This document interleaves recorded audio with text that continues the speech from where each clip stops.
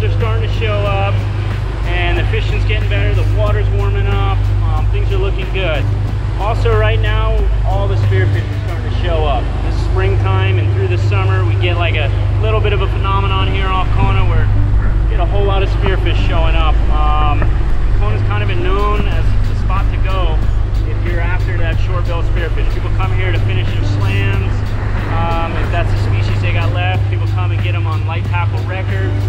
know the boys on the Northern Lights just got a record for fly fishing on a short-billed spearfish, which is pretty sick.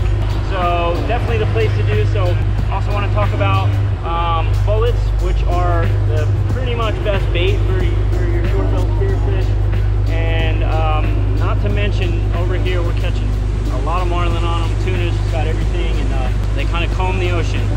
Anyways, we got some cool stuff for you, so thanks for tuning in again,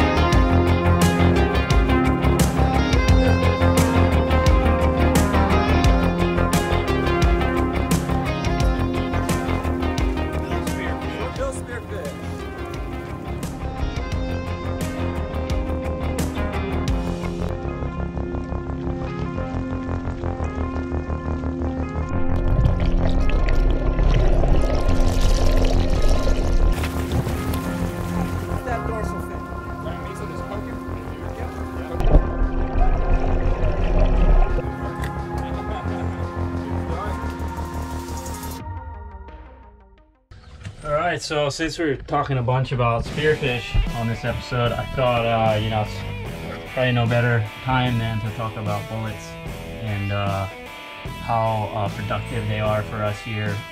I mean, mainly, you know, not only on spearfish, but on all species. So, um, yeah, Joe, um, tell us a bit about. So we got a few out here. Um, three of these got Flashabou on them. Uh, the other one's just rubber, regular rubber skirt. Got the Tantrum, large Tantrum bullet. Uh, Koya 9 Plus, two Koya 9 Pluses, and this Niyama Magic Aku.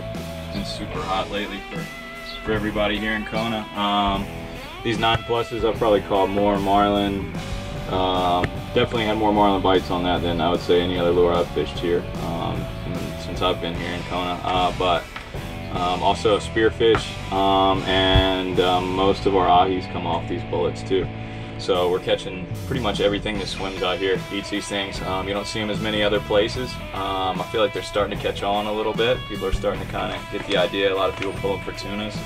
Um, other places, you know, the East Coast, Australia and whatnot, but uh, they're just as good for marlin. You want these kind of just right on the surface, making a little splash, uh, black water ripple.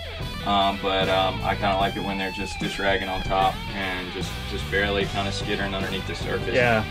So the, the Blackwater Ripple we're talking about is pretty key to the success of these things. It's basically like you've never seen it before, but if you if you've pulled live baits or like if you've like pulled a bait from a kite, like a live bait, like a goggle eye or something, you know you get that little kind of ripple when you have them right below the surface and they're kicking away.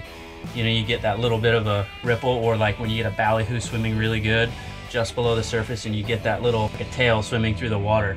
That's what you want these um, most of bullets, like like just saying, they all have a little bit of different action, but generally you want them doing that blackwater ripple, you know, maybe like a little dish rag, and then back down to that blackwater ripple, um, which is there's a whole thing to bullets. Like you don't just put them out there like people think, oh, they just swim. Like you really gotta adjust those things and hook placement, where the coil's coming out of the head. I mean, there's so much to, to just try and get them to run right.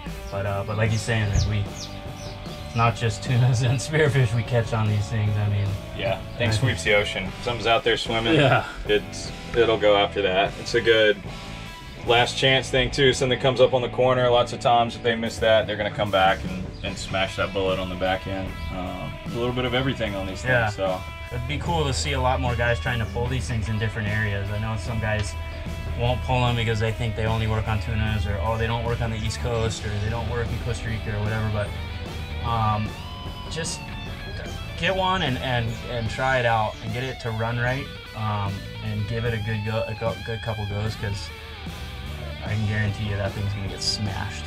Marlin, uh, everything. You- You're on the East Coast, white marlin would probably love these things.